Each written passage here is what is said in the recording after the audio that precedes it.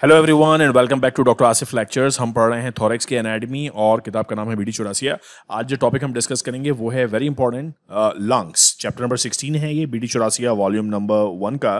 और lungs obviously आपको पता है कि they occupy the major portion of the thoracic cavity so जो थोरेक्स हम पूरा पढ़ रहे हैं थोरेसिक वॉल डिस्कस कर चुके हैं थोरेसिक कैविटी का आपको आइडिया है। सो थोरेसिक कैविटी में जो सबसे बड़ा मेजर ऑक्यूपेंट है, सबसे बड़ा ऑर्गन जो मौजूद है दैट इज़ अ लंग और दोनों साइड पे होता है थोरेसिक कैविटी के राइट साइड पे there is a lung and left side पे देर इज़ अ लंग और इन दोनों लंग्स के बीच में there is heart in the middle ठीक है? The two lungs hold the heart tight between them providing the protection it actually deserves so heart को बड़ा कोजी सा एनवायरमेंट देते हैं, ये दोनों लंग्स इसको इस तरह से होल्ड करते हैं ओके नाउ दोनों लंग्स में each lung has ten broncho pulmonary in segments की भी हम बात करेंगे, जब ब्रोंकियल ट्री के बारे में डिस्कस करेंगे। सो राइट साइड पे भी और लेफ़्ट साइड पे भी, ठीक है?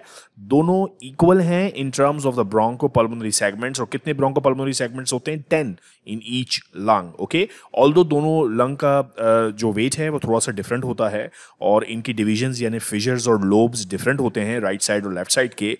लेकिन ब्रोंको पल्मोनरी सेगमेंट्स दोनों तरफ़ एक जित, एक जितने हैं, एक जैसे हैं, वो हैं दस, ठीक है? Now, what are lungs? They are pair of respiratory organ. इनका primary काम है respiration, situated in the thoracic cavity. Each lung invaginates the corresponding pleural cavity. Pleura पे अलग से एक पूरा चैप्टर हम पढ़ चुके हैं कि लंग के इर्द गिर्द विसरल प्लूरा होती है बिल्कुल इसके साथ चिपकी हुई and then there is a parietal pleura और विसरल प्लूरा और पराइटल प्लूरा के बीच में what we have is the pleural cavity okay तो ये बेसिक सी बात है जो पहले भी कई दफ़ा डिस्कस की है the right and the left lungs are separated by the mediastinum अच्छा मिडियास्टिनम पे एक अलग पूरा चैप्टर है वीडियो बनाऊँगा। सो राइट साइड पे जो लंग है और लेफ़्ट साइड पे जो लंग है, इसके बीच का जो एरिया है that part is called mediastinum जिसके अंदर हार्ट मौजूद होता है, ठीक है? और भी स्ट्रक्चर्स होते हैं, पढ़ेंगे जब मिडियास्टिनम का अलग से पूरा चैप्टर डिस्कस करेंगे। लंग्स को अगर आप मॉर्फोलॉजिकली ग्रॉस देखें so they are spongy in nature young age में दे आर ब्राउनिश और ग्रेइश इन कलर लेकिन with the passage of time they start appearing mottled black क्योंकि उसमें कार्बन पार्टिकल्स जमा हो जाते हैं। ज़ाहिर है पूरी ज़िंदगी you inspire a lot of carbon particles ठीक है? राइट right साइड का जो लंग है इट इज़ अबाउट रफली मोर देन हाफ़ के जी सेवन हंड्रेड ग्राम्स के करीब है and this is around fifty to hundred grams heavier as compared to the left lung ठीक है? So this is all the introductory paragraph अब बात करते हैं प्रॉपर लंग्स की। Each lung is actually conical in shape. It, it's conical in shape like this ठीक है? Roughly इस तरह का structure है cone shaped इसका एक upper end है which is called the apex. Uh, the upper end then there is a base which is resting on the diaphragm. So if you look at uh, say for example this diagram so this portion is the apex of the lung और यहाँ जो नीचे base वाला portion है, इसके नीचे actually diaphragm होगा। So they are sitting on the diaphragm so ये जो डायफ्राम को टच करने वाला एरिया है that is called the base of the lung okay so apex हो गई बेस हो गई and now there are three borders तीन बॉर्डर्स हैं, ये याद रखने हैं इंपॉर्टेंट है एग्ज़ाम्स के लिए। There is an anterior border posterior border and inferior border if you look at the diagrams so ये डायग्राम देखें तो इसमें हमको एंटीरियर बॉर्डर क्लियरली नज़र आ रहा है। ये राइट right साइड का लंग है ये लेफ़्ट साइड का लंग है सो राइट साइड पे जो एंटीरियर बॉर्डर है it is pretty much vertical बिल्कुल वैसे ही जैसे हमने प्लूरा की मार्किंग की थी विस्टल प्लूरा की। लेकिन लेफ़्ट साइड पर अगर आप देखें तो जो एंटीरियर बॉर्डर है वो फोर्थ इंटरकॉस्टल स्पेस के बाद एक्चुअली लिटरली टर्न हो जाता है और uh, इसकी वजह है बिकॉज़ यहाँ पे हार्ट है और इसीलिए इसको हम नाम देते हैं इस कर्व को इस टर्न को हम नाम देते हैं कार्डियक नॉच ठीक है? सो so, ये स्टोरी हो गई एंटीरियर बॉर्डर की जो कि बिल्कुल स्ट्रेट है राइट साइड पे और लेफ़्ट साइड पे इट मेक्स अ नॉच ठीक है? तो ये सारा टेक्स्ट में भी यहाँ पे लिखा हुआ है anterior border is very thin it is shorter than the posterior border ये भी मैं आपको दिखाता भी हूँ कि पोस्टीरियर बॉर्डर लंबा होता है। It's longer than the anterior border on the right side the anterior border का जो डिसेंट uh, है वो वर्टिकल है and it corresponds to the anterior costomediastinal reflection of the pleura जो मैंने प्लूरा आपको पढ़ाया था uh, पिछली वीडियो में। बिल्कुल वही इसकी सरफेस मार्किंग है। इट गोज वर्टिकली डाउनवर्ड्स लेकिन लेफ़्ट साइड पे it makes a cardiac notch ठीक है? तो ये सारी बात यहाँ पे लिखी हुई है कि there is a notch on the left side फिर है पोस्टीरियर बॉर्डर अच्छा posterior border obviously thoracic wall के पोस्टीरियर साइड पे होगा। It is thick and ill defined it corresponds to the medial margin of the heads of the ribs ये आपको याद है ना सेंट्रल uh, स्ट्रक्चर जो बार बार हम डिस्कस कर रहे हैं कि इंटीरियर साइड पे देर इज़ स्टर्नम फिर लेटर साइड पे रिब्स निकलती हैं और पोस्टीरियरली जाके वो अटैच हो जाती हैं वर्टिब्रल कॉलम से। तो यहाँ पे जो हेड होगा उस हेड के साथ चल रहा होता है लंग्स का पोस्टीरियर बॉर्डर ठीक है? और कहाँ से कहाँ तक होता है? Extends from the seventh cervical spine to the tenth thoracic spine तो दीज आर दी लोकेशंस जो आपको याद रखनी है। फिर there is another border which is called the inferior border of lungs it separates the base from the costal and medial surface ये ज़ाहिर है इन्फीरियर साइड पर है. एंड दैन सर्फेसिस के हवाले से अगर बात करें लंग्स की तो एक वो सर्फेस है जो रिप्स uh, की तरफ़ है. That is called the costal surface फिर एक मीडियल सर्फेस है जो मीडियल साइड पर है. अच्छा medial surface is divided into a posterior portion and an anterior portion ये भी हम डिटेल में डिस्कस करेंगे. और एंटीरियर uh, और पोस्टीरियर पार्ट जो है अगर इस डायग्राम में हम देखें so look at this diagram for example this is the trachea ये राइट लंग है, ये लेफ़्ट लंग है और मुझे ये कैसे पता चला कि यहाँ पे लेफ़्ट साइड पे हार्ट यूँ जा रहा है? So this is the cardiac notch so this is the left lung और ये वाला जो बॉर्डर है this is the anterior border right lung का और ये एंटीरियर बॉर्डर है with the cardiac notch left lung का। ठीक हो गया? तो ये बात आसानी से समझ में आ रही है। पीछे जो बॉर्डर होगा, जो यहाँ से है और पीछे चलते चलते चलते यहाँ तक आएगा that is the posterior border ठीक है? यहाँ से भी ये दिख रहा है, देखें posterior border so posterior border is longer anterior border सिर्फ़ इतना है और पोस्टीरियर बॉर्डर यहाँ तक एक्सटेंड हो रहा है. टेंथ थोड़ा स्पाइन तक आता है. So this is longer than the anterior border इसी तरह अगर मैं सरफेसिस की बात करूँ तो ये वाली जो सरफेस है इसके ऊपर यहाँ पर होंगी रिब्स तो इसे हम नाम देते हैं। These are the costal surfaces of the lung right side की और लेफ़्ट साइड की ठीक है? फिर लंग का जो ये वाला पोर्शन होगा जो मीडियल साइड पर है this is called the medial surface so costal surface ribs की तरफ़ मीडियल सर्फेस मीडियल साइड पे मीडियास्टीनम की तरफ़ ठीक है? इसका इंटीरियर पार्ट होगा और इसका पोस्टीरियर पार्ट होगा। सो so, ये आपको डिफरेंट सर्फेसिस और डिफरेंट बॉर्डर्स लंग के इन समरी क्या क्या बॉर्डर्स हैं? There is an anterior border there is a posterior border and there is an inferior border surfaces क्या क्या हैं? कोस्टल सरफेस जो रिप्स की तरफ़ है, और मीडियल सरफेस मीडियल सरफेस का एक एंटीरियर पार्ट है, जो आगे की तरफ़ होगा, और एक पोस्टीरियर पार्ट है, जो पीछे की तरफ़ होगा ओके okay? अब बात करते हैं फिजर्स की. नाउ लंग्स में जो फिजर्स हैं, वो राइट साइड पे डिफरेंट हैं और लेफ़्ट साइड पे डिफरेंट है. The lung is divided into right side of the lung is divided into three lobes basically उनके नाम हैं upper lobe middle lobe and lower lobe and there are two fissures present कौन कौन से दो fissures हैं?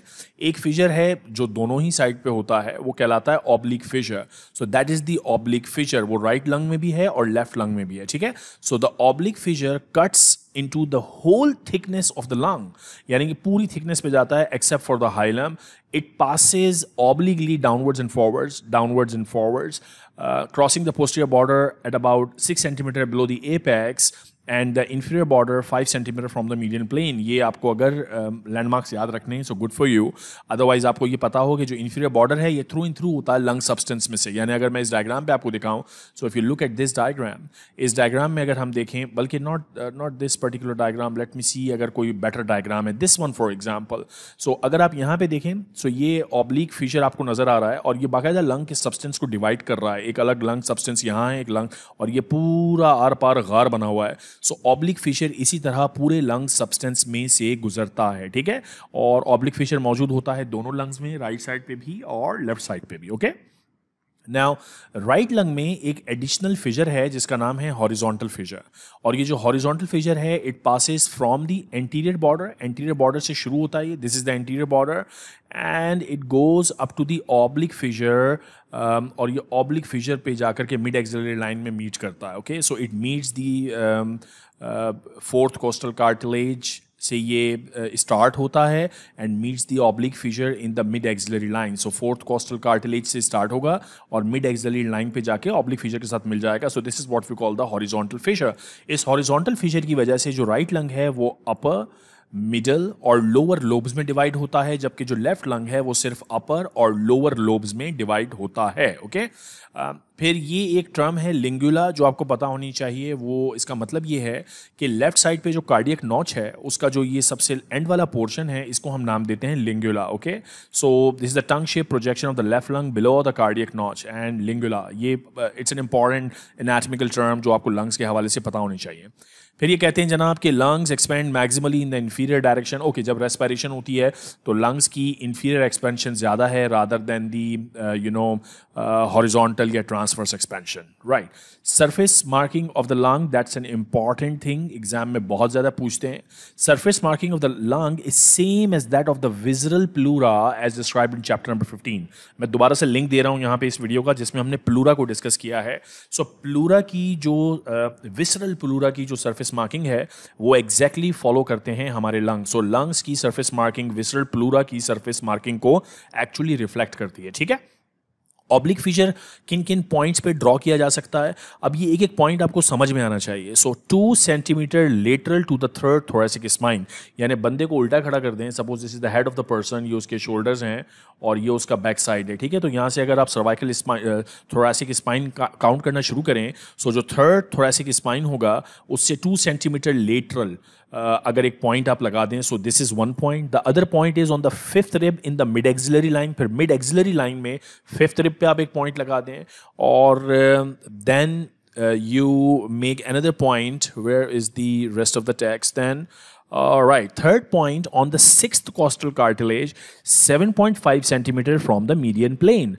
अब ये सिक्स कॉस्टल कार्टिलेज आ जाएगा ये स्टर्नम अगर है और अगर सेकंड कॉस्टल कार्टिलेज आप फिगर आउट कर लेते हैं which is at the sternal angle of Louis इससे नीचे काउंट करें सिक्स कॉस्टल कार्टिलेज तक आए और 7.5 centimetre from the median plane जो मीडियन प्लेन है उससे 7.5 सेंटीमीटर की तीसरा पॉइंट सो इमेजिन एक पॉइंट ये है एक पॉइंट मिड एक्सिलरी लाइन में है और एक पॉइंट पोस्टीरियरली है उन सारे पॉइंट्स को जब आप ज्वाइन कर देंगे तो ये हो गई सरफेस मार्किंग ऑब्लिक फीचर की। Oblique fissure posterior to anterior इस तरह से चलता है इन पॉइंट्स पर। हॉरिजॉन्टल फीचर की सरफेस मार्किंग क्या है? It is represented by a line joining अब फिर कौन कौन से पॉइंट्स हैं? A point on the anterior border of the right lung at the level of the fourth costal cartilage again आपने फोर्थ कोस्टल कार्टिलेज लोकेट करनी है sternum पे सेकंड कोस्टल कार्टिलेज लोकेट करें सबसे पहले, उसके नीचे third costal cartilage and then the fourth costal cartilage और फोर्थ कॉस्टल कार्टिलेज पे anterior border of the lung पे जो पॉइंट ड्रॉ करेंगे सेकेंड पॉइंट होगा fifth rib in the mid axillary line fourth के नीचे यहाँ पे फिफ्थ कोस्टल कार्टिलेज होगा, जो पीछे फिफ्थ रिब बनेगा, उसका बोनी पार्ट रिब का, और मिड एक्सिलरी लाइन में आप एक पॉइंट लगा दें तो ये है horizontal fissure so this is easy अगर आप ये पॉइंट्स याद रखते हैं सो यू कैन इमेजिन के हॉरिजॉन्टल फिजर और ऑब्लिक फिजर किन किन पॉइंट्स को मिलाकर रिप्रेजेंट किए जा सकते हैं okay okay? Right now let us discuss a very important topic which is called the root of the lung अच्छा रूट ऑफ़ द लंग की स्टोरी ये है कि देखें दिस इज़ द ट्रैकिया और ट्रैकिया इस तरह डिवाइड होता है ब्रोंकाई में, और फिर यहाँ पे ऑब्वियसली राइट लंग है, और ये लेफ़्ट लंग है। लंग की मैंने आपको बताया कि एक तो कॉस्टल सर्फेस है, जो रिप्स की तरफ़ होगी, फिर एक मीडियल साइड पे मीडियासिनम की तरफ़ ये सर्फेस है। इस सर्फेस में ये वाला पॉइंट जहाँ से लंग्स के अंदर चीज़ें आ रही हैं और लंग्स में से चीज़ें बाहर जा रही हैं, इस पॉइंट को बेसिकली कहते हैं रूट ऑफ़ द लंग और जो पॉइंट ऑफ़ एंट्रेंस होता है, जिससे चीज़ें लंग्स में आती हैं और बाहर जाती हैं सो ये अपर्चर कहलाता है हाइलम सो ये हाइलम और root of the lung right side पे भी है ऑब्वियसली और लेफ़्ट साइड पे भी है there is hilum and root of the lung so this is basically a short broad pedicle which connect the medial surface of the lung यानी medial surface of the lung to the mediastinum ठीक है? It is form by the structure which either enter और come out of the lung at the hilum so hilum से जो चीज़ें अंदर आ रही हैं, बाहर जा रही हैं, ये वाला एरिया कहलाता है रूट और इसकी जो लोकेशन है, जो एनाटमिकल लैंडमार्क है, वो है opposite to the bodies of the fifth six and seven थोड़ा सिक वर्टिबरी ये लोकेशन है जहाँ पे रूट ऑफ़ द लंग होती है, ठीक है? अब क्या क्या होता है? इसमें देर आर सेवरल स्ट्रक्चर्स सबसे पहले तो प्रिंसिपल ब्रोंकाई हैं लेफ़्ट साइड पर, और ई part app arterial and hyparterial इसका मतलब क्या है? देखें, अगर यहाँ पे मैं बताता हूँ कि कोई आर्टरी है, और इस आर्टरी के ऊपर जो स्ट्रक्चर होगा, वो कहलाएगा एप आर्टीरियल इस आर्टरी के नीचे जो स्ट्रक्चर है, वो कहलाएगा हाइप आर्टीरियल और यहाँ पे वो स्ट्रक्चर क्या है? ब्रोंका है. और ये मैं आपको अभी डायग्राम में भी दिखाता हूँ. अभी थोड़ी देर में डिस्कस करेंगे इस डायग्राम को और डिटेल में, लेकिन for now suppose this they have mentioned as pulmonary artery यहाँ पे पल्मोनरी आर्टरी है। इस पल्मोनरी आर्टरी के ऊपर जो ब्रोंकस है उसे कहेंगे एप आर्टीरियल ब्रोंकस और पल्मोनरी आर्टरी के नीचे जो ब्रोंकस है उसे कहेंगे हाइप आर्टीरियल ब्रोंकस ठीक है? सो so, ये स्ट्रक्चर्स मौजूद होते हैं ऑन द राइट साइड और पल्मोनरी आर्टरी है इन द मिडिल पार्ट दोनों साइड्स पे राइट right साइड पे और लेफ़्ट साइड पे हाइलम में there is a pulmonary artery हम पढ़ रहे हैं कॉन्टेंट्स क्या क्या हैं यानी रूट में लंग जहाँ पर एक इसमें डिप्रेशन या होल होता है, जिससे चीज़ें आती और जाती हैं तो वो क्या क्या चीज़ें हैं? तो ब्रोंकस आते हैं पल्मोनरी आर्टरी है पल्मोनरी वेन्स हैं ब्रोंकियल आर्टरीज हैं, जो लंग के सब्सटेंस को सप्लाई करेंगी ब्रोंकियल वेन्स हैं, और एंटीरियर और posterior pulmonary plexuses of nerves हैं। ये सिंपैथेटिक और पैरासिम्पैथेटिक नर्व्स के प्लेक्सेस होते हैं, जो पूरे लंग को और ब्रोंकियल ट्री को सप्लाई करते हैं। सो वो प्लेक्सेस भी इसी हाइलम का पार्ट है। लिम्फेटिक्स होंगे ब्रोंको पल्मोनरी लिम्फ नोड्स होंगे। इंपॉर्टेंट स्ट्रक्चर है, क्योंकि पूरे लंग की सुपरफिशियल सरफेस डीप सरफेस से सारा का सारा लिम्फ जो है वो अल्टीमेटली इन नोड्स में आता है और लूज एरुलर फैटी टिश्यू तो ये तमाम चीज़ें इस हाइलर एरिया में मौजूद होती हैं, इस रूट वाले एरिया में मौजूद होती हैं, ठीक है? अब ये इंपॉर्टेंट है कि जो रूट का एरिया है, उसका अरेंजमेंट एग्ज़ाम में अक्सर पूछते हैं कि किस तरह वो चीज़ें अरेंज होती हैं। तो राइट साइड पे आपको अलग एनाडमी याद रखनी है लेफ़्ट साइड पे अलग एनाडमी याद रखनी है।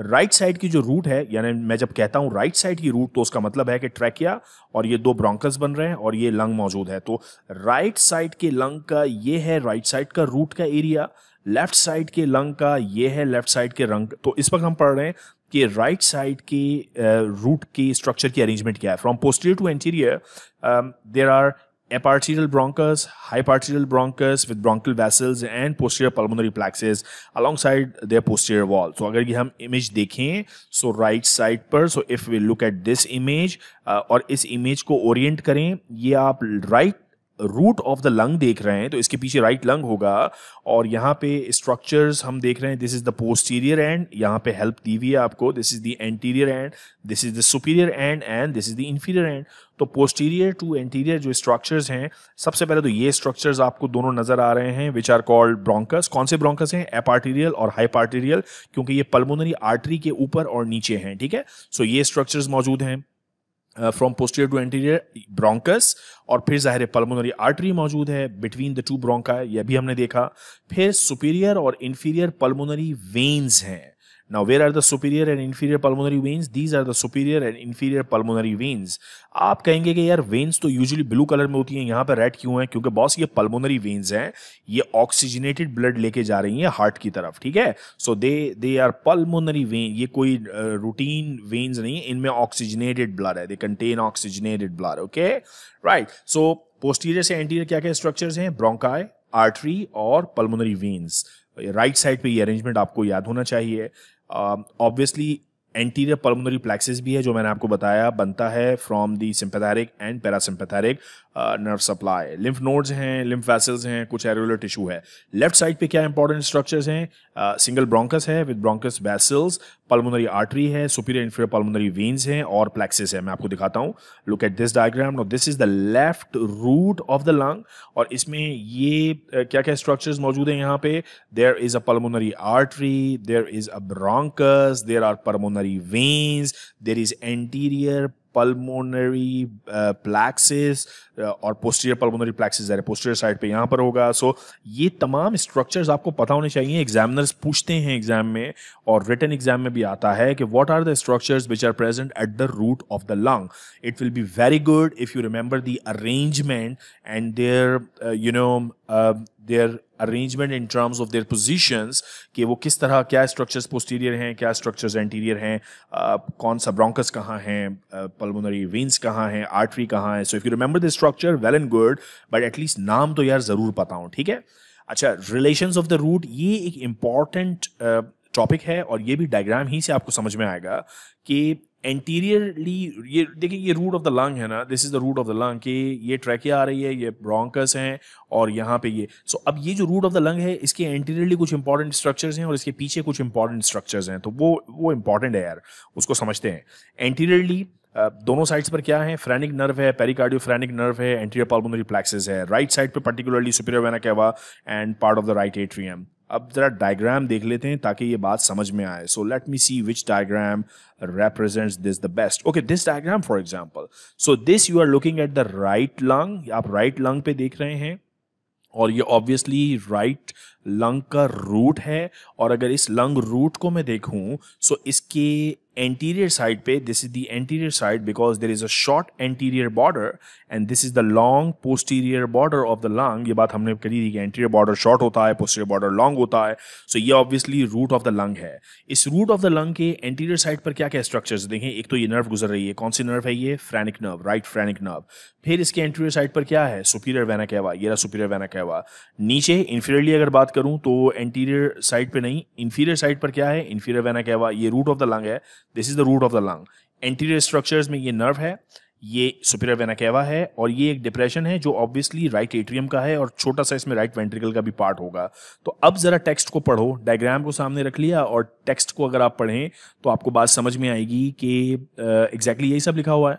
फ्रेनिक नर्व थी right phrenic nerve superior vena cava देखा इंप्रेशन देखा, ये सब चीज़ें मौजूद हैं on the anterior side posterior side पर क्या मौजूद है? Vagus nerve and posterior pulmonary plexus left side पर डिसेंडिंग एओटा है पोस्टीरियर रिलेशन में. Superiorly azygos vein and arch and inferiorly pulmonary ligament ये तमाम चीज़ें you can study in this particular diagram so right lung के anterior structures मैंने आपको बता दिए. सुपीरियर स्ट्रक्चर्स में देखें क्या क्या चीज़ें arch of azygos vein azygos superior है. ये है ना this is the root of the lung so this is the azygos superior relation inferior relation में क्या चीज़ मौजूद है? एक तो इंफीरियर वेना कैवा और साथ में ये प्लूरा की reflection which is the pulmonary ligament या प्लूरल सस्पेंशन ठीक है? अच्छा जी पोस्टीरियर रिलेशन में देखें, ये ब्लड वेसल है and what is this blood vessel यहाँ पे पूरा इसोफिगस भी है एंड आर्च ऑफ़ एओर्टा भी गुजरेगा descending aorta basically not the arch of aorta so anterior relation posterior relation superior relation inferior relation इसी तरह अगर आप लेफ़्ट लंग को देखें this is the left lung and you are looking at the left root of the lung इसके anterior relation में ये nerve मौजूद है, और नर्व का नाम वही है this is the phrenic and then there is pulmonary trunk there is arch of aorta aorta posterior relation के अंदर there is descending aorta left side पे डिसेंडिंग एओर्टा था। इसोफिगस का पार्ट है पोस्टीरियर रिलेशन में।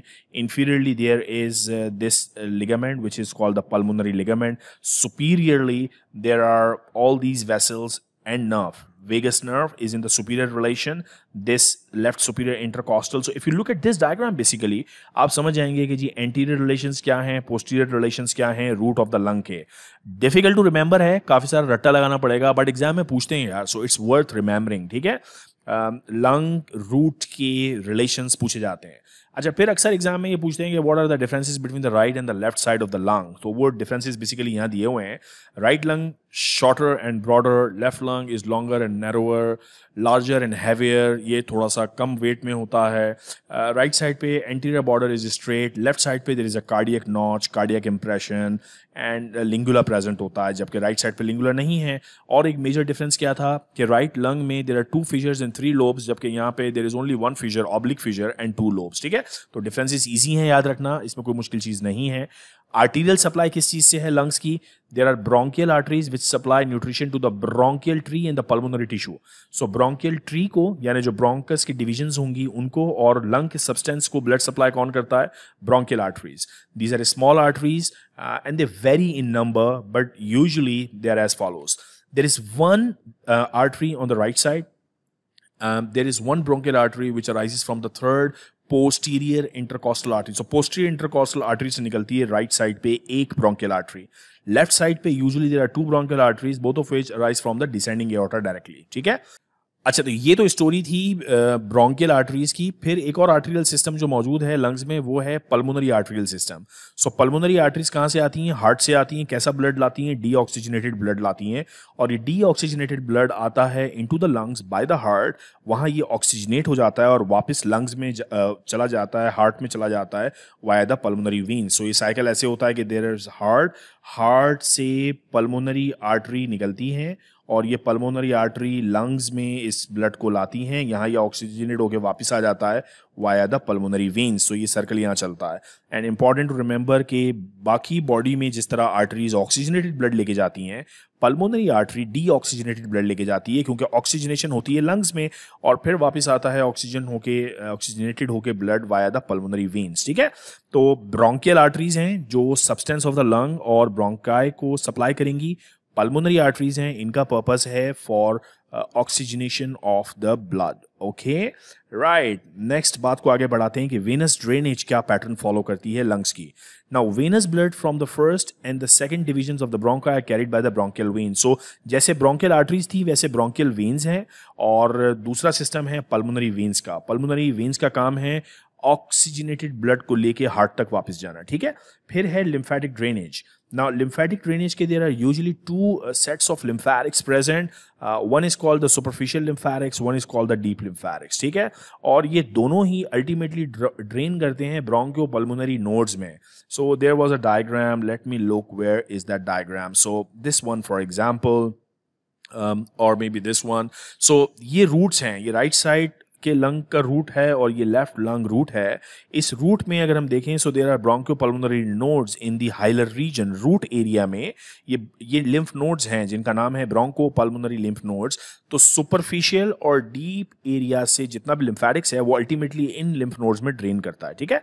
सुपरफिशियल जो lymphatics हैं, वो ड्रेन करेंगे from the peripheral lung tissue pleura the vessels which are surrounding और जो डीप लिम्फेटिक्स है, वो deep connective tissue all the bronchial tree वो उस एरिया को ड्रेन करेंगे। सो सुपरफिशियल हो या डीप हो अल्टीमेटली वो ड्रेन हो जाएगा ब्रोंको ब्रोंकोपल्मोनरी लिम्फ नोड्स में okay so that's about the lymphatics nerve supply is via the parasympathetic system as well as via the sympathetic system parasympathetic drive आती है via the vagus nerve and it is motor to bronchial muscles यानी जब कभी parasympathetic stimulation होगी there will be constriction of the bronchi, bronchospasm. Secretomotor है इसका मतलब ये increase secretion of the mucus gland और जो sensory fibers हैं, they are able to feel the stretch reflex. अब ये जो points हैं they are proasthmatic points ये मैं इस तरह से याद कराता हूँ स्टूडेंट को कि parasympathetic proasthmatic this sound similar okay proasthmatic का मतलब ये है कि ब्रोंकाई कॉन्स्ट्रिक्ट करेंगे और सिक्रीशन ज़्यादा हो जाएगी. So contraction of bronchi and increase secretion ये एस्थमा को एग्रेवेट करेगा राइट? जबकि जो सिंपथेटिक एक्टिविटी है वो इसके ऑपोजिट है। सिंपथेटिक एक्टिविटी का काम ये है कि it reduces the secretions and it you know inhibits the contraction of the smooth muscles so glands भी इनहिबिट हो रहे हैं सिक्रीशन कम हो जाएँगी और मसलर कॉन्ट्रैक्शन भी कम हो जाएगी। इसका मतलब यह है कि अगर आप कोई ऐसी ड्रग दो जो सिंपैथेटिक नर्व्स की तरह काम करे ऐसी ड्रग्स को हम कहते हैं सिंपैथोमाइमेरिक सो so, जैसे कि एड्रीनलीन सो एड्रीनलीन एस्थमा के सिम्टम्स को बढ़ाएगा या कम करेगा it will relieve the symptoms of asthma क्योंकि एस्थमा के पेशेंट का मसला यही है कि there is bronchoconstriction and there is a lot of mucus secretion so sympathomimetic drugs जब आप देंगे सो ब्रोंका डायलेट हो जाएँगे और सिक्रीशन रिड्यूस हो जाएँगी ओके? सो so, ये सारा कॉन्टेक्स्ट में है इंपॉर्टेंट है, इसकी क्लिनिकल सिग्निफिकेंस है ओके okay? अच्छा फिर एक बात और जो याद रखनी है कि पैरासिम्पैथेटिक और सिंपैथेटिक जो नर्व्स हैं, वो एक्चुअली प्लेक्सेस बनाती हैं anterior and posterior pulmonary plexus plexus और फिर उन प्लेक्सेस में से ब्रांचेस निकल के पूरे लंग को सप्लाई करती हैं ओके ये तो सब था लंग के बारे में लंग के बॉर्डर्स लंग की सर्फेसेस लंग के लोब्स कितने होते हैं, उसकी arterial supply venous drainage lymphatic drainage ये तमाम चीज़ें।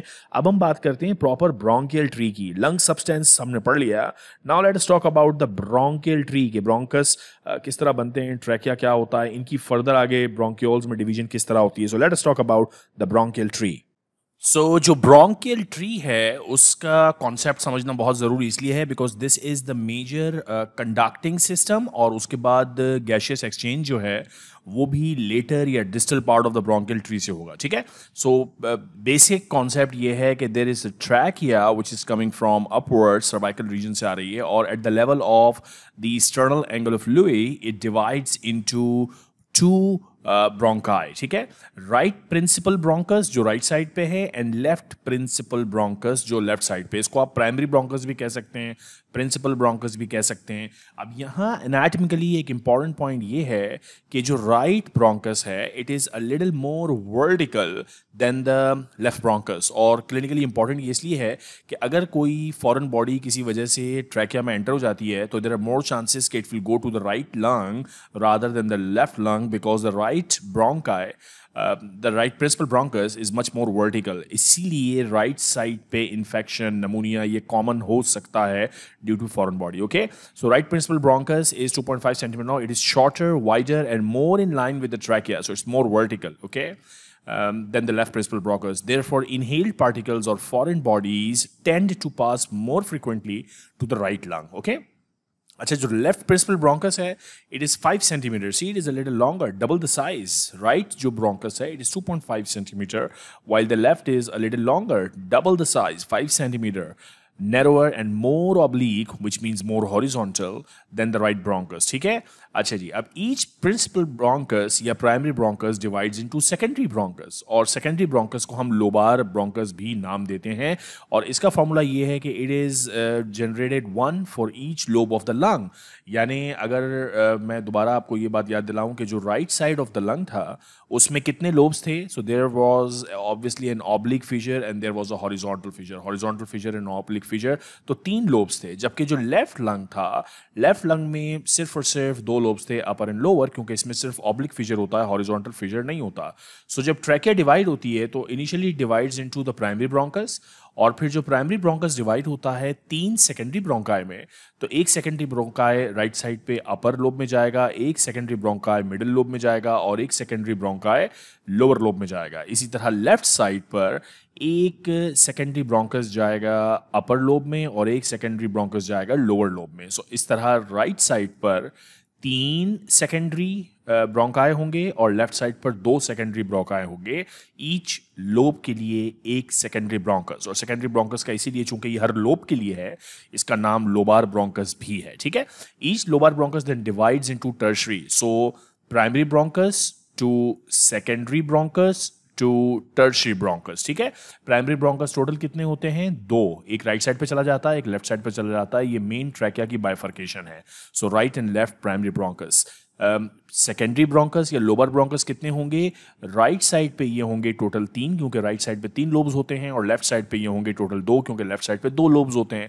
और फिर सेकेंडरी ब्रोंकस से बनता है tertiary bronchus tertiary bronchus on each side a total ten in number because there are ten bronchopulmonary segments अभी पढ़ते हैं इसके बारे में, ठीक है? So there are total ten on the right side and ten on the left side ठीक है? फिर ये जो टर्शरी ब्रोंक्यूल्स है टर्शरी ब्रोंक्यूल्स का दूसरा नाम सेगमेंटल ब्रोंक्यूल भी है, क्योंकि ये टेन ब्रोंको पर्मोनरी सेगमेंट को सप्लाई करते हैं on each side of the lung ठीक है?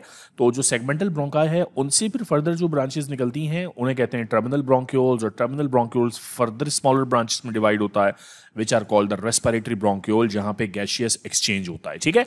Each respiratory bronchiole aerates a small part of the lung which is known as the primary yeah, small functional pulmonary unit The respiratory bronchiole ends in the microscopic passage, which are termed as alveolar duct, atria, air saccule, pulmonary alveoli. अब कोई diagram देखते हैं diagram देखने का वक्त आ गया so this is the main trachea और trachea at the level of external angle of Louis divide हो रहा है right primary bronchus and left primary bronchus ठीक है?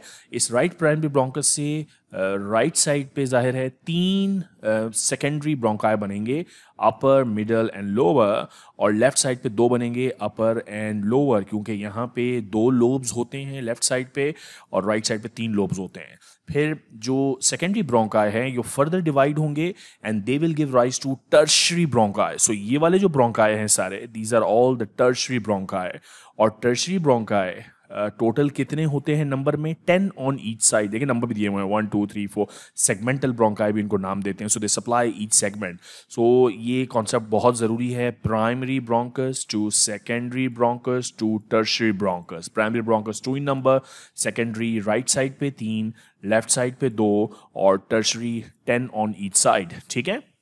सो so, ये ये बेसिक uh, आपको जो इसका स्ट्रक्चर है वो पता होना चाहिए। Then this diagram is an important one अभी जो हम बात कर रहे थे कि ट्रैकिया डिवाइड होता है प्राइमरी ब्रोंकस में प्राइमरी ब्रोंकस से निकलते हैं सेकेंडरी ब्रोंकस और जो सेकेंडरी ब्रोंकस हैं, वो फिर डिवाइड होते हैं सेगमेंटल ब्रोंकस में। तो ये सेगमेंटल ब्रोंकस है और ये देखिए जैसे जैसे आगे जाता जा रहा है, इसका साइज़ छोटा होता चला जा रहा है।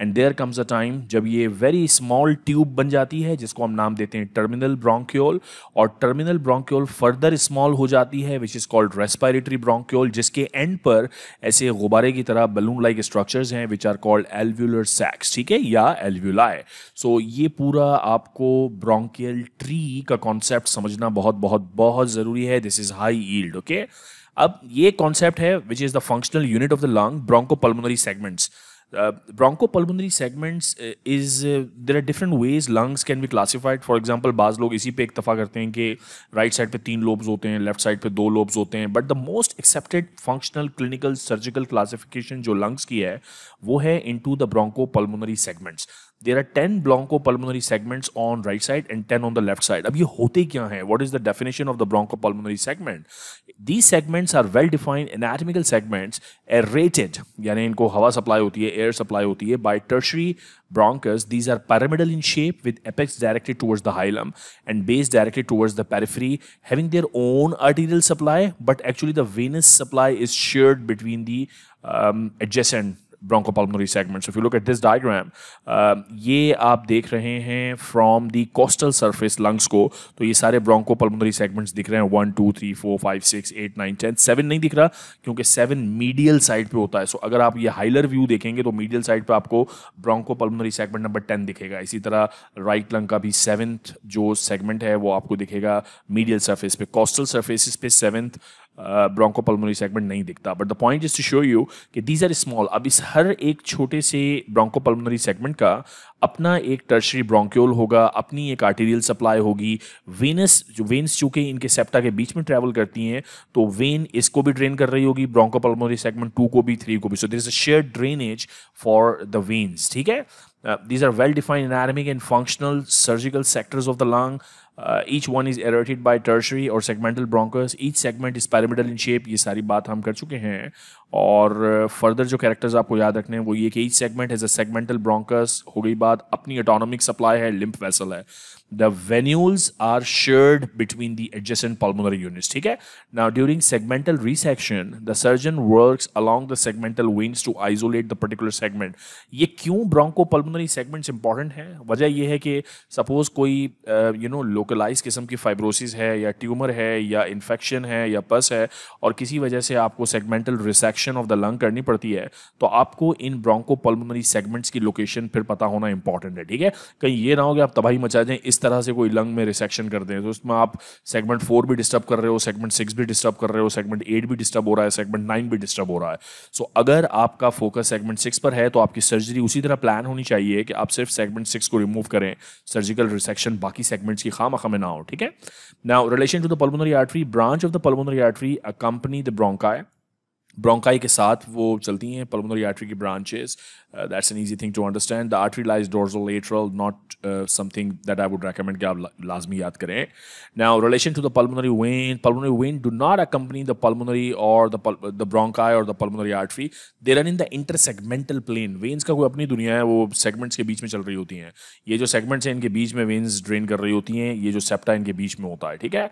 So so therefore it is important point to reme remember कि जो ब्रोंको पल्मोनरी सेगमेंट है it is not a bronchovascular segment bronchovascular segment ये तब होता जब एक सेगमेंट होता, इसकी एक ही टर्शरी ब्रोंकस सबके से सप्लाई होती एक पर्टिकुलर आर्टरी होती और एक पर्टिकुलर वेन होती। अगर ये पैटर्न होता तो हम इसको नाम देते single designated bronchovascular segment लेकिन इस वक्त अपना डेजिग्नेटेड ब्रोंक टर्शरी ब्रोंकस तो है, लेकिन, या ब्रोंक्योल आर्टरी भी है, लेकिन वेन शेयर्ड है वेन डेजिग्नेटेड नहीं है। सो देयर फॉर अक्सर एग्ज़ाम में लोग पूछते हैं कि do you think a bronchopulmonary segment is also a true bronchovascular segment? So, the answer is no. And the reason is कि जो वेनस ड्रेनेज है वो शेयर्ड है बिटवीन द सेगमेंट्स हर सेगमेंट की अपनी डेजिग्नेटेड वेनस सप्लाई नहीं है ठीक है? अब ये जो ब्रोंको पल्मोनरी सेगमेंट्स हैं यहाँ तक बात समझ में आ गई कि they are ten in number on each side of the lung इनका अपना टर्शरी uh, सप्लाई होता है from the bronchus tertiary bronchus और इनकी अपनी आर्टीरियल सप्लाई होती है। अब अगर आपको I mean if you want to go step further then you should remember the names and the positions of the segments as well right side पे कितने लोब्स होते हैं? तीन। अपर लोब मिडल लोब और लोअर लोब अपर लोब में there are these three bronchopulmonary segments. Middle lobe में these are the two bronchopulmonary segments. And lower lobe में these are the remaining five pulmo bronchopulmonary segment so if you want to remember remember them I have never remembered them because exam में ये इतना high इस तरह से पूछा नहीं जाता ठीक है? Um, आपके अंडर ग्रेड एग्ज़ाम्स में या इवन स्टेप्स में ये इस तरह से नहीं पूछते कि एग्जैक्टली आप बताएँ कौन सा सेगमेंट है ठीक है?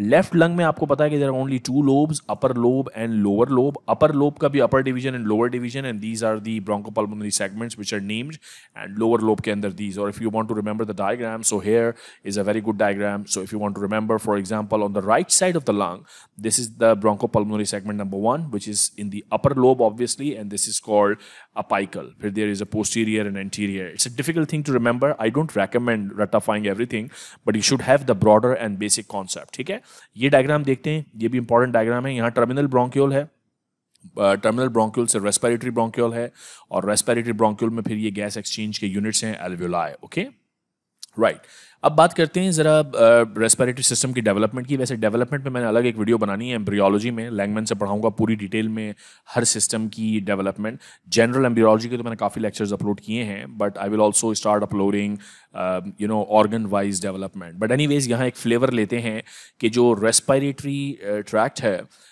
उसका एक initial bud basically it arises from a diverticulum which is called respiratory diverticulum from the ventral part of the primitive pharynx so pharynx में सो फैरिंग्स जब ग्रो कर रही होती है तो उसका एक वेंट्रल डाइवर्टिकुलम यू निकलता है?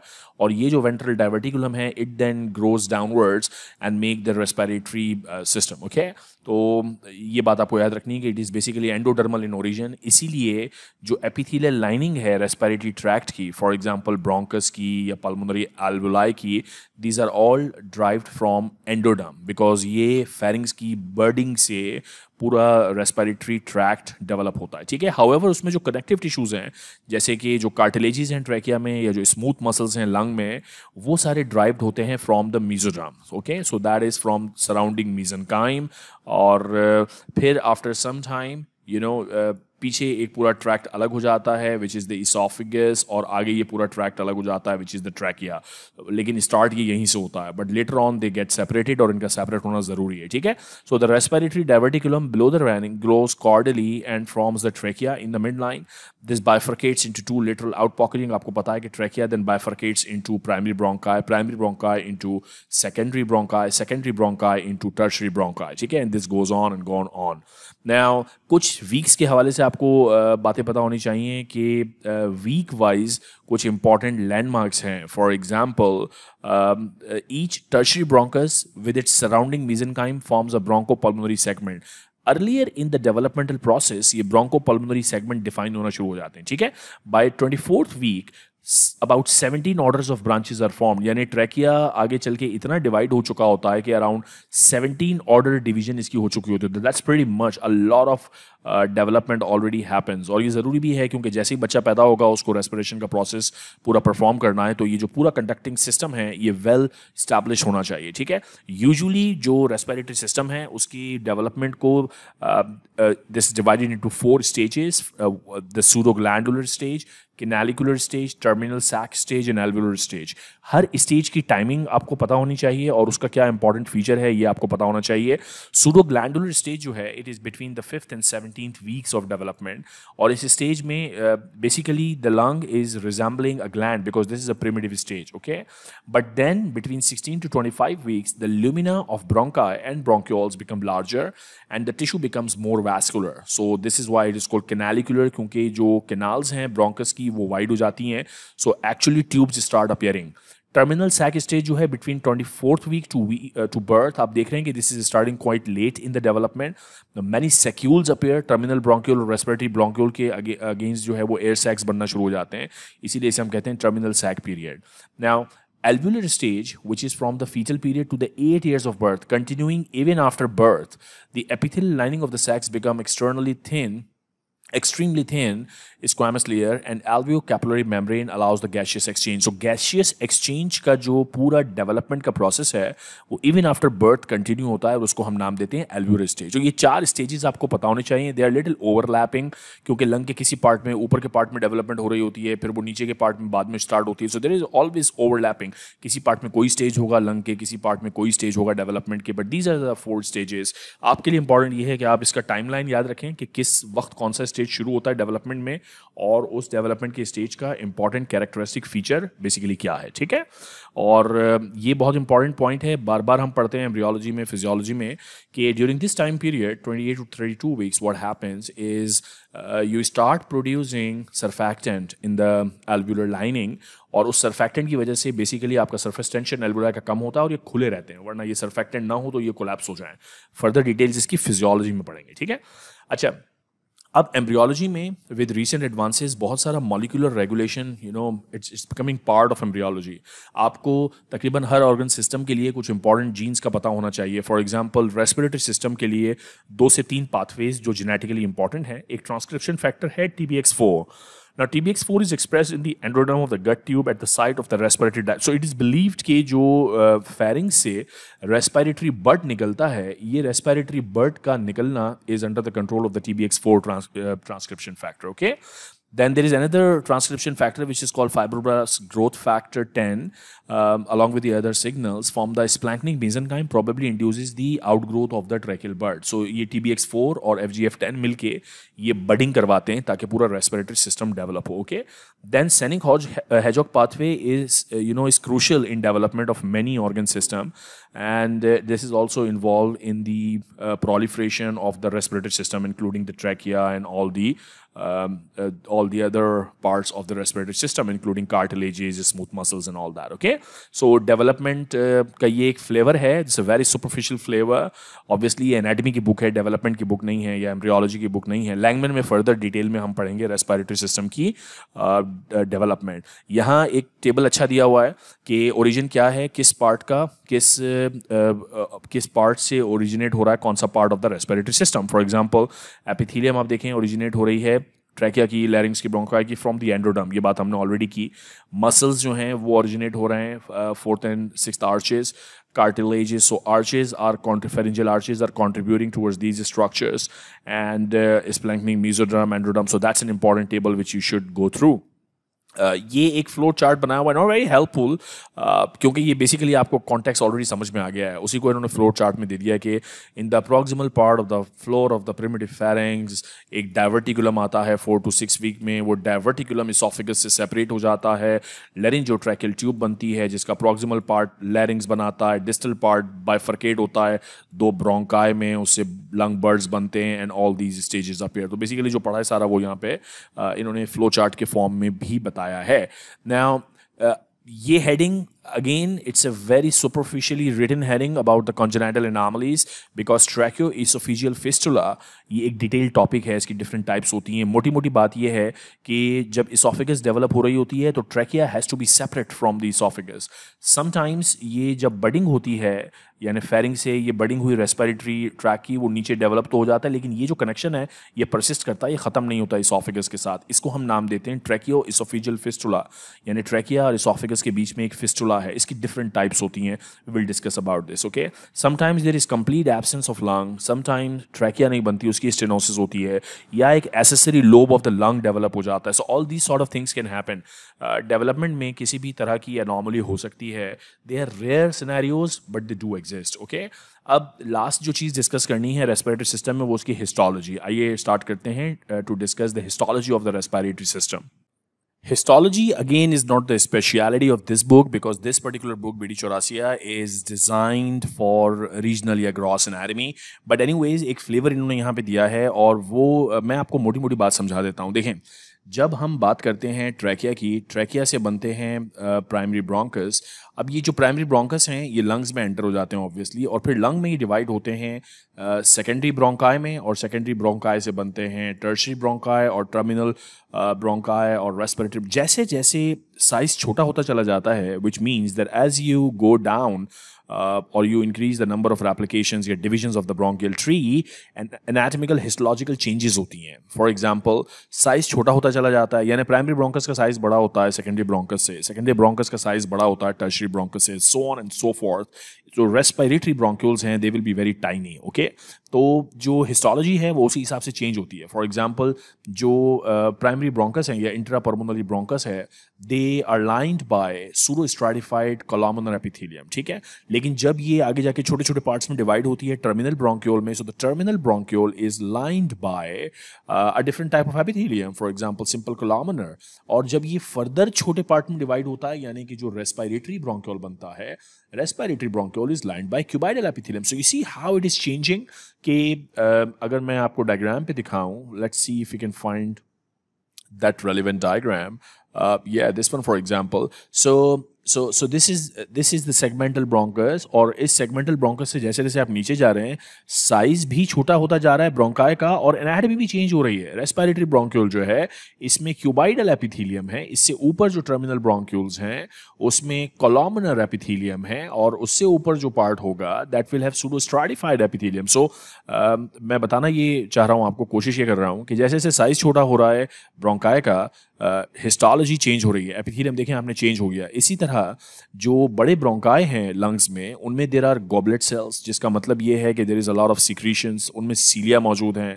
बाकायदा एक सब म्यूकोजल लेयर मौजूद है कार्टिलेज की एक पूरी लेयर मौजूद है is an outermost layer of hyaline cartilage तो ये तमाम स्ट्रक्चर्स मौजूद हैं इन द बिगर ब्रोंकाय लेकिन टर्मिनल ब्रोंकाय में it is also part of the conducting system जब हम बात करते हैं कंडक्टिंग सिस्टम इसका मतलब ये कि इसमें से एयर कंडक्ट हो रही है, ठीक है? So this is also the part of conducting system और but they are smaller in diameter terminal bronchioles are smaller इसीलिए इनमें एपिथीलियम चेंज हो जाती है. This is simple columnar instead of pseudostratified squamous okay pseudostratified columnar के बजाय not squamous columnar stratified columnar के बजाय it become simple columnar okay multiple layer से simple सिंगल लेयर हो गई. Now, the lamina propria contains elastic and smooth muscles होते हैं. Both gland and cartilage plates are absent. यानी जैसे size छोटा हुआ कार्टिलेजेस खत्म हो गए ग्लैंड्स खत्म हो गए सो so ये इंपॉर्टेंट चेंज है एपिथेलियम सूरोस्टार्डिफाइड से सिंगल लेयर में कन्वर्ट हो गई, ठीक है तो ये इंपॉर्टेंट चेंजेस हैं रेस्पायरेटरी ब्रोंक्यूल जो कि और छोटा होता है साइज़ में it contains cuboidal epithelium columnar भी नहीं है, इसमें कोई क्यूबाइडल एपिथीलियम है, ठीक है? And a very thin layer of collagenous tissue on smooth muscles alright फिर जो एल्वुलाई हैं जो फाइनली आपके रेस्पिरेटरी ब्रोंक्यूल के एंड पर ये सर, सर्कुलर किस्म का स्ट्रक्चर होगा it is usually lined by a simple single layer resting on a basement membrane और इसमें दो तरह के सेल्स होते हैं type one pneumocytes and type two pneumocytes and type two pneumocytes are notorious for producing surfactant वो surfactant produce करते हैं which is important to keep your alveoli open वरना ये कोलैप्स कर जाएगा एल्वुलाई ठीक है? अगर सरफैक्टेंट नहीं होगा। तो बहरहाल, मैंने आपको जैसे कि पहले बताया कि एम्ब्रियोलॉजी और हिस्टोलॉजी हम डिटेल में पढ़ेंगे अलग अलग वीडियोस में, हिस्टोलॉजी और एम्ब्रियोलॉजी की सीरीज़ में, ओके? बट यहाँ पे ये इंपॉर्टेंट है कि आपको बेसिक कॉन्सेप्ट हो कि जैसे जैसे रेस्पायरेटरी ट्री ब्रोंकियस के साइज़ कम हो रहे हैं, उसकी पूरी एनाटमी और हिस्टोलॉजी भी अकॉर्डिंगली चेंज हो रही है, ठीक है? कुछ इंपॉर्टेंट क्लिनिकल पॉइंट्स हैं to finish off this chapter broncho pulmonary segment का जो कॉन्सेप्ट है बॉस ये आपको याद रखना ज़रूरी है बिकॉज़ ये कॉन्सेप्ट सर्जिकली इंपॉर्टेंट है। यूजुअली इन्फेक्शन वगैरह जो है दे आर कन्फाइंड एक ब्रोंको पल्मोनरी सेगमेंट है तो वो उसी में रहता है। ऑल ये रूल नहीं है कैंसर uh, है या ट्यूबरक्लोसिस है उसमें it can go to the other segment but usually एक ही सेगमेंट में रहता है। और अगर बहुत बुराई आती है तो इस एक ही सेगमेंट को आपको निकालना पड़ेगा ठीक है? तो इसीलिए ये इंपॉर्टेंट है। फिर ये जो ब्रोंकियल ट्री पे मैं बार बार ज़ोर दे रहा हूँ कि ट्रैकिया है प्राइमरी ब्रोंकस है फिर सेकेंडरी है फिर टर्सरी है फिर टर्मिनल रेस्पिरेटरी ब्रोंक्यूल एल्बुला ये जानना इसलिए ज़रूरी है बॉस क्योंकि ब्रोंकोस्कोपी एक टेक्निक है, वो तभी आप ब्रोंकोस्कोपी सक्सेसफुली कर सकेंगे you insert scope in in there camera डालते हैं और अंदर तक जाते हैं, ठीक है? तो वो तभी आपको समझ में आएगा जब ये एनाटमी समझ में आएगी। So this is important to remember the anatomy of the bronchial tree now carina Uh, it's not the it's not the actress Karina, but it's the it, it's a anatomical respiratory system ka Karina is a hook-shaped process projecting backwards from the lower margin of the lowest tracheal ring. जो lowest tracheal ring है वहाँ पे ये point uh, जहाँ पे bifurcation हो रही है this is the point which is called carina importance इसकी ये है कि this is highly highly sensitive और ये यूज़ होता है यूजली पॉस्चुरल ड्रेनेज में करते ये हैं कि पेशेंट को ऐसे लिटा देते हैं ऑन द लेफ़्ट साइड और एनाटमी uh, ऐसी है फिर आपके पूरे ब्रोंकल ट्री की कि जो फ्लूड्स वगैरह होते हैं अगर तो वो ड्रेन होकर के कैरिना के पॉइंट पे जमा हो जाते हैं और यहाँ पे वो आ जाते हैं और पेशेंट को कफ रिफ्लेक्स जनरेट होता है और यहाँ से वो फिर बाहर निकल निकाल दिए जाती हैं सारी secretion so that is what we call the postural drainage ठीक है? स्पूटम बना के वो बाहर निकाल देते हैं। सो so, ये एक पोजिशन है जो आपको पता हो कैरीना इसमें एक इंपॉर्टेंट रोल प्ले करता है क्योंकि सारा कुछ यहाँ जमा हो जाता है। जैसे यहाँ जमा होगा this is a sensitive area cough reflex होगा चीज़ें बाहर आ जाएँगी ठीक है? Right right. Paradoxical uh, respiration एक इंपॉर्टेंट फिनोमिना है। समटाइम्स व्हाट हैपेंस कि कोई सेगमेंट ऑफ़ द रेब अगर वो फ्रैक्चर्ड है या कोई और अनॉमली है तो इंस्पायरेशन में यूजली क्या होता है? इंस्पायरेशन में आपका पूरा जो थोड़ा सा कैवरी है वो एक्सपैंड होता है। लेकिन अगर कोई एबनॉर्मल पोर्शन होगा चेस्ट का तो वो बाहर एक्सपैंड होने के बजाय वो अंदर की तरफ़ चला जाता है। दिस इज़ कॉल्ड पैराडॉक्सिकल यानी होना चाहिए था बाहर की तरफ़ इंस्पायरेशन में जा रहा है अंदर की तरफ़। So that's something abnormal and this is what we call paradoxical respiration और उल्टा होता है एक्सपायरेशन में। एक्सपायरेशन में बाकी सारा चेस्ट वॉल अंदर आता है और फिलेल सेगमेंट जो है एबनॉर्मल सेगमेंट वो बाहर निकल जाता है, ठीक है?